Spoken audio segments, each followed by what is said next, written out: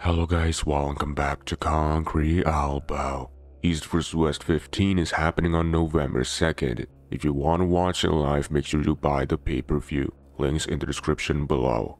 So Devon has been getting criticized a lot in the past few days. Not because of the left hand hammer anymore, but because it seems like he's not taking this Petrenko match seriously, because he keeps gaining more and more weight instead of losing them. And on his Instagram stories, Devon said he's planning to get even heavier than he currently is right now until he flies to Istanbul. Oh, um, I just people are messaging me telling me how I've got to lose weight and stuff. Hey, you lose weight. You lose weight. You know, the thing is, is the key to winning in a weight class is to be the biggest guy in the class. That's true. That's what people don't understand. I can still get, I can still get bigger. Like this morning, I was 270. I think if I actually weigh 275 You or 280 by the time like I go to Istanbul, that's that's what just a 50 pound water cut. It's not too bad.